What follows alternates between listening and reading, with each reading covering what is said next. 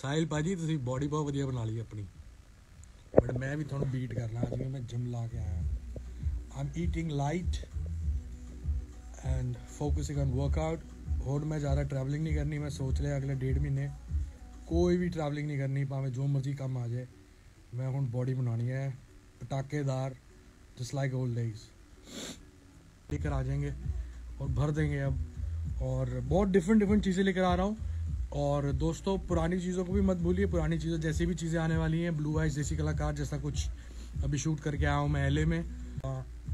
गाने का नाम बता दूँ? बता दूँ? अभी नहीं ना? थोड़ा जल्दी हो जाएगा अभी। हाँ अभी गानों के नाम नहीं बताएँगे।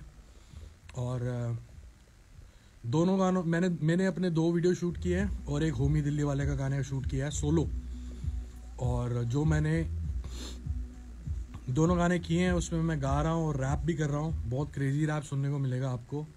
और एक गाना पूरा पंजाबी में है उसका रैप भी पूरा पंजाबी में है। आई uh, थिंक दोनों गाने दोनों गाने पंजाबी में है और दोनों गाने के रैप भी पंजाबी में है। बिग अप लाज और एक मेरी सबसे पहली एल्बम आई थी जो रीमिक्स करी थी मैंने। अ, उसका नाम था 2004 में हमने रिलीज़ करी थी और ये फ्लॉप हो गई थी।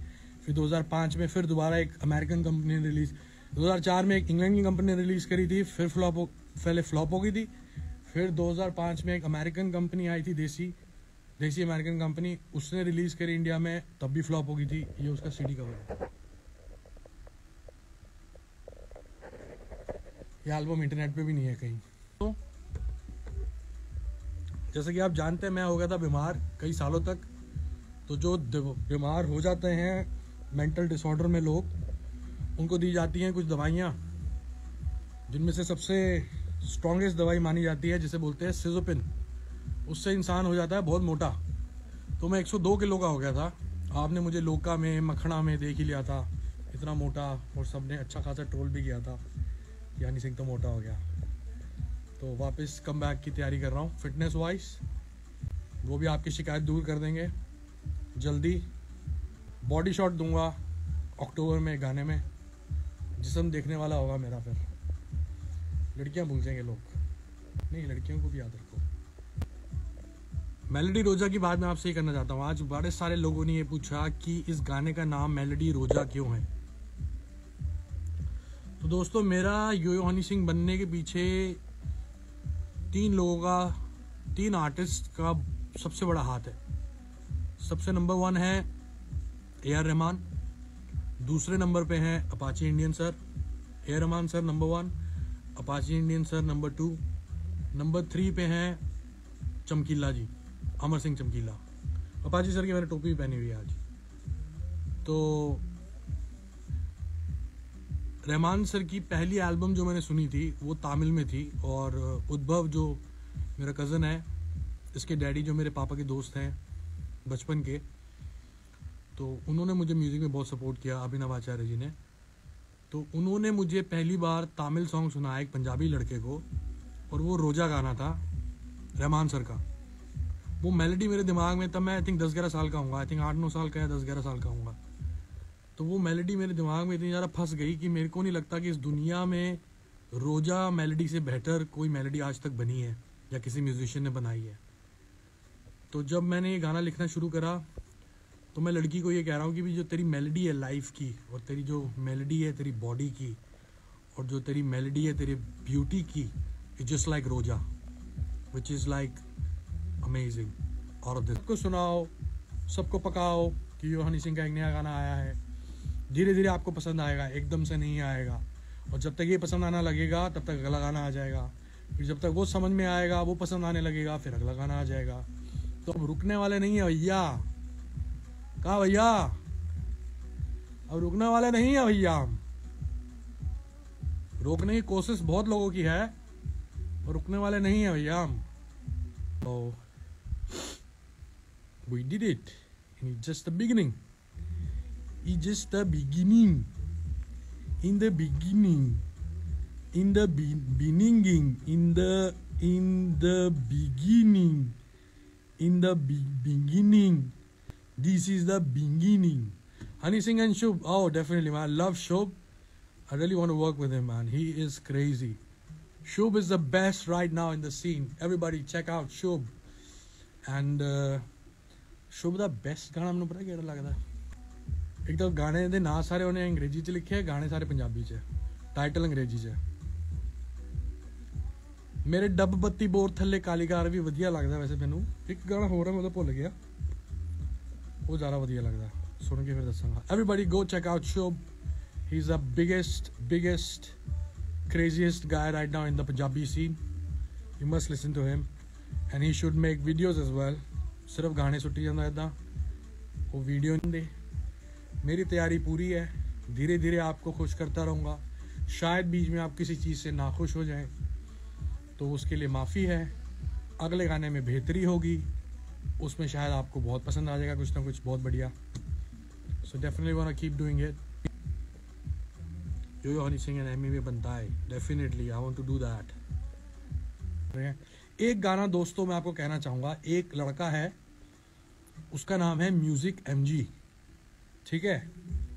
जिसको बोलते हैं Milind Gaba, the music MG उसने करा लिए शादी। शादी कराने से पहले उसने गाना मेरे साथ एक शूट किया था, गाने का नाम है पेरिस का ट्रिप वो पट्टे ने अभी तक वो गाना रिलीज़ नहीं किया है। आप जितने लोग मुझे प्यार करते हो ट्रस्ट मी वो गाना इतना क्रेजी है। और उसमें मैंने म्यूज़िक प्रोड्यूस किया और मैंने ढोलक प्रोड्यूस करी है, जो मैं जब चंडीगढ़ में काम करता था तब बनाता था। उस तरह की वाइब है और क्रेजी रैप है और वो मेरा डुएट सॉन्ग है उसके साथ। मतलब ये नहीं है कि उसने गाया और मैंने रैप किया मतलब ये नहीं है कि मैंने गाया और उसने रैप किया। एक्चुअली में एक लाइन वो गा रहा है एक लाइन मैं गा रहा हूँ, एक लाइन वो गा रहा है एक लाइन मैं गा रहा हूँ। पूरा गाना हमने आपस में अपनी टोन मैच करके ये बनाया है। और उस गाने का नाम है पेरिस का ट्रिप वो पट्टे ने अभी तक उसको तीन महीने तक रिलीज़ नहीं किया है। मुझे नहीं पता क्यों, मैं उसको इतना फॉलो कर रहा हूँ, उससे बार बार पूछ रहा हूँ, क्या हो रहा है, क्या नहीं हो रहा। वो उसके हॉलीडेज नहीं खत्म हो रहे। कभी कहाँ बैठा होता है कभी कहाँ बैठा होता है कभी कहाँ बैठा होता है। तो प्लीज़ आप अगर मुझे प्यार करते हो म्यूज़िक एमजी को प्यार करते हो तो म्यूज़िक एमजी को डीएम कर करके भर दो उसकी। ले लो कि वो गाना रिलीज़ कर। क्योंकि उस गाने के बाद मैडनेस है वो गाना madness trust me take my words Paris का ट्रिप इज़ नेक्स्ट लेवल मैं चाहता था वो गाना सबसे पहले आ जाए, मार्च में, अप्रैल में ही वो गाना आ जाए, उसके बाद डिज़ाइनर आए, उसके बाद इधर उधर के गाने जो भी छोटे मोटे हम लोग कर रहे हैं, कोशिश, वो सब आते रहे। लेकिन वो गाना पता नहीं क्यों डिले कर दिया पट्ठे ने। तो उस पट्ठे को म्यूज़िक एमजी को जाके डीएम करो, उसको तंग करो, जिन जिन के पास उसका फ़ोन नंबर है फ़ोन कर करके उसको पागल कर दो कि ये गाना निकालो। तो अब वो मुझे कह रहे हैं गाना निकालेंगे अक्टूबर में। तब तक, बुढ़े हो जाएँगे हम। लिल गोलू यस लिल गोलू भी वापस आ चुका है। और बहुत इधर उधर मस्ती मार रहा था वो। तो मैं उसको बुलाया स्टूडियो पिछले महीने, हम लोग बैठे हैं, हम लोगों ने गाना भी लिखा है, इकट्ठे। और उसको रिकॉर्ड करने वाले हैं। उसने रिकॉर्ड अपने आप किया, लेकिन मुझे पसंद नहीं आया तो उसको मैं वापस बुला के दोबारा रिकॉर्ड करूँगा और अपना पार्ट भी उसके साथ ही रिकॉर्ड कर लूँगा। एमी वे बनता है इतने सारे स्टार्स बनाए एमी वे बनता है के नाम पे किसी ने। वो तो मेरा फेवरेट है। वो एक ऐसा रेवोल्यूशन है इंडियन रैप सीन के अंदर, जो अरे मिलन गावा कह रहा पैरी पहना। मिलन, तेरे लिए मैंने इतना कुछ बोल दिया अभी लाइव में कि तेरी बैंड बजने वाली है। हम दोनों गए थे मिलने। बहुत मज़ेदार आदमी है, बहुत सिंपल आदमी है। लोगों को लगता है गुस्से वाले हैं, बिल्कुल गुस्से वाले नहीं है। बहुत प्यारे हैं। Karan Aujla with yo yo Karan is too much busy bro Karan is too much busy कोई नहीं करण इज़ ऑल्सो गुड ये definitely with Karan Aujla as well Alfaaz के साथ बनाओ, अल्फाज के साथ बना रखा भाई गाना, उसको आप समझाओ, थोड़ा पतला हो शूट करें। एम ई वे को डिस्ट्रैक्ट करो। तेरा दिमाग खराब है। है कौन तू स्पाइस गेमिंग देख फ़ोटो लगा रखी है अपने चाचे के बेटे की, और उल्टी सीधी बातें लिखते हो यहाँ पे आके। क्यों करे भाई डिस किसी को? नहीं करना डिस हमने। कभी करा नहीं आज तक। क्यों करे अभी? ये जोन ही नहीं हमारा। बत्ती बंद करने वाला जोन है हमारा। भेज रहा है किसी को। ओए स्पाइस गेमिंग स्पाइस गेमिंग कहाँ गया अब? कैसी बोहिमिया साथ बोहेमिया के साथ पाजी। ऐसे मत लिखो। लिखो बोहिमिया पाजी के साथ पाजी। ऐसे लिखो। बोहिमिया पाजी के नाम के बाद पाजी लगाना सीख लो। ज़रूरी है। बहुत ज़्यादा। बोहेमिया के साथ मत लिखो। और मेरे नाम के आगे पाजी लगा रहे हो। ऐसे नहीं होता। रहेगी मैंने इस बारी बोहेमिया पाजी से भी मिलना था, लेकिन मेरा ट्रिप कुछ लंबा था। किसी कारण वो शॉर्ट हो गया और मेरे को जल्दी वापस आना पड़ा। पाजी से मिल नहीं पाया। डेफिनेटली बोहेमिया पाजी से मिलेंगे।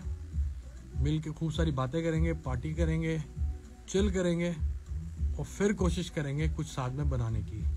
क्योंकि काफ़ी वक्त से मौका ऐसा लग रहा है कि बोहिमिया बाजी और हम कोलैब कर पाएँ। लेकिन मैं ऑनलाइन जैमिंग नहीं चाहता हूँ कि मैं यहाँ से कुछ बना के भेजूँ, पाजी वहाँ से वर्ड्स गा के भेजें। और मैं फिर हम उनको मिलें सीधा सेट पे और हम वहीं पे शूट करें। सो आई वांट कि वन वन जैमिंग हो, मस्ती करें स्टूडियो के अंदर। दो तीन गाने बनाएँ दो तीन गाने बना के एक दो को डंप कर दें और एक गाना उसमें से ऐसा निकालें, जो बीट करे सहारा को। अगर मैं कभी बोहमिया पाजी के साथ काम करूँ और सहारा गाने को बीट ना कर पाऊँ तो मेरे पर लानत है। तो कोई फ़ायदा ही नहीं। तो दोस्तों, बोहमिया पाजी को बिल्कुल मिलेंगे जल्दी। एक ही बारी मिला हुआ पाजी से बस। कई साल पहले, आठ साल पहले, जब वो दिल्ली में थे और हमें पता चला वो सेम होटल में तब उनसे मिलने गए थे। मैं और अल्फाज, हम दोनों गए थे मिलने। बहुत मज़ेदार आदमी है, बहुत सिंपल आदमी है। लोगों को लगता है गुस्से वाले हैं, बिल्कुल गुस्से वाले नहीं हैं। बहुत प्यारे हैं।